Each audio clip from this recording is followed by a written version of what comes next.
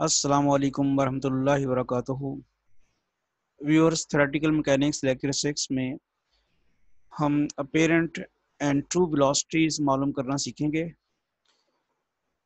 इसके लिए Punjab university MSc mathematics part one का क्वेश्चन नंबर सिक्स का ए पार्ट हम करेंगे, जो 2019 में आया हुआ है। Theoretical mechanics book to follow current lecture is useful for BS Mathematics, BS Physics, MSc Mathematics, MSc Physics, PPSC, FPSC Lecturer Mathematics, PCSC Mathematics and CSS Mathematics. University of Punjab MSc Part 1 2019 question 6 ka A part.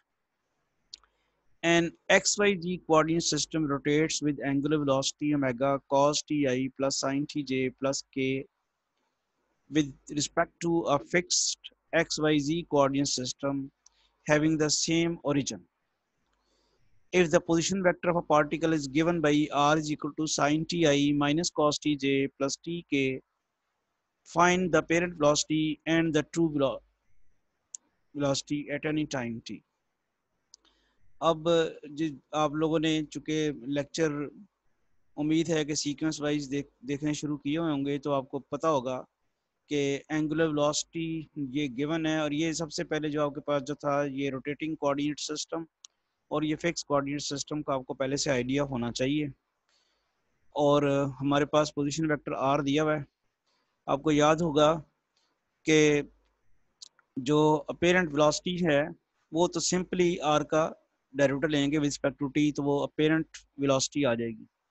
और true velocity के लिए हम rotating axis theorem लगाएँगे और उसके लिए आपको याद होगा कि एक एलिमेंट ऐड होता है और वो उसमें जो एलिमेंट ऐड होता है, उसमें एंगुलर वेलोसिटी जो है ओमेगा इन्वॉल्व होती है। तो उसी तरह हम ये इसको सॉल्व करते हैं। ओमेगा आपके पास ये है आर आपके पास ये है।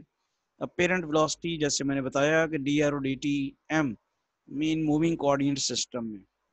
वो simple D R O D T है।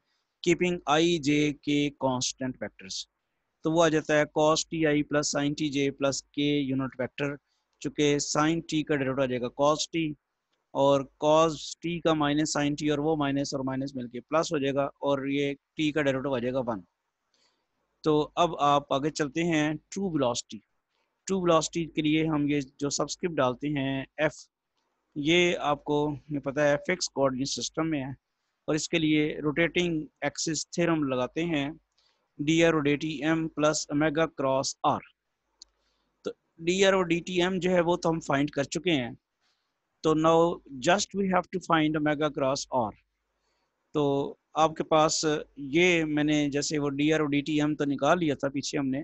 cos ti plus sin tj plus k after writing this we just have to find omega cross r now look at uh, how can we find omega cross r? As you know uh, cross product 2 vector is uh, written in the form of uh, determinant. We can compute cross product 2 vectors using this determinant in which the first row in have first uh, there are unit vectors i j k in the first row and uh, component of the first vector here omega is the first vector whose components are cos T sine T and one वो लिख दी हैं और thirdly जो है हमारे पास third row में आपके पास आता है सेकंड वेक्टर की कंपोनेंट्स जो कि आर है और वो आपके पास sine T minus cos T T है। अब इसकी डिटर्मिनेंट की से एक्सपेंशन आपको आती है। आई यूनिट वेक्टर वैसे फ़र्स्ट रो से हमने एक्सपेंशन कर दी।